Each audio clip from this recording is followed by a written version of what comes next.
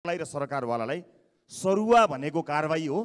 कारवाही गरिएको हो कि सरुवा उहाँलाई पुरस्कार गरिएको कुनै पनि यस्तो गम्भीर विषय क्विन्टलका क्विन्टल सुन आउने विषयमा विभिन्न निकायका प्रमुखहरूलाई तुरुन्त बर्खास्त गर्नुपर्ने हो कि केही कर्मचारीहरूलाई सरुवा गरेर यसलाई साटफेर गर्नुपर्ने हो? यसमा कयौँ इन्फर्मेसनहरू होलान्? त्यो इन्फर्मेसनहरू कस्ता ठाउँमा गएर बसिरहेका छन्? अब यो समय पाइसकेपछि यो डामेर छोडेपछि त्यहाँ भएका महत्त्वपूर्ण सूचनाहरू लुकाउने समय प्रशस्त मिल्यो अनुसन्धानलाई प्रभावित पार्ने समय प्रशस्त मिल्यो कतिलाई फोन फर्म्याट गर्ने समय मिल्यो होला कतिलाई टेलिभिजनमा गएर तामा तुलसी खाएर बाचा कसम खाने समय मिल्छ होला मिडिया न्यारेटिभ बनाउन मिल्छ होला।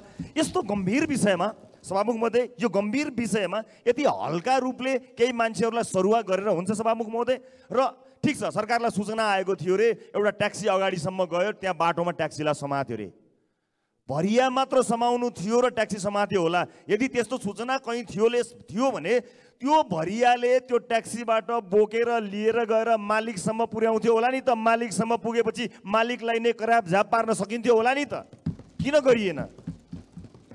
यो एउटा ठुलो सेटिङ हो जुन निरन्तर चल्दै आएको छ। तर सभामुख महोदय गम्भीर कुरा यहाँ कहाँबाट आइरहेको छ भने तत्त निकायका प्रमुखहरू चाहे सुरक्षा निकायका प्रमुख हुन् चाहे इमिग्रेसन होस् चाहे कस्टम होस् जो पनि कामहरू भएको छ ती विभिन्न महानुभावहरू जो विभागीय प्रमुख या त्यो कुनै इन्स्टिट्युसनको हेड भएर बसिरहनु भएको छ उहाँहरूले चाहिँ अहिले त्यो निकायको प्रमुख हुने हैसियत राख्नुहुन्न। उहाँहरू त्यहाँ बसिरहँदा अनुसन्धानमा ठुलो असर पर्छ प्रमाणहरू लुक्न सक्दछन् धेरै हुन सक्दछ। त्यस कारणले सभामुख महोदय यसमा गम्भीर हुनको लागि म अनुरोध गर्न चाहन्छु र हामीले पद्धतिलाई विश्वास गर्दै सार्वजनिक महत्त्वको प्रस्ताव दर्ता गराएका छौँ। यो सार्वजनिक महत्त्वको प्रस्तावलाई चाँडैभन्दा चाँडै यो संसदमा प्रस्तुत गरियोस्। मैले गृहमन्त्रीज्यूलाई भनेको पनि छु।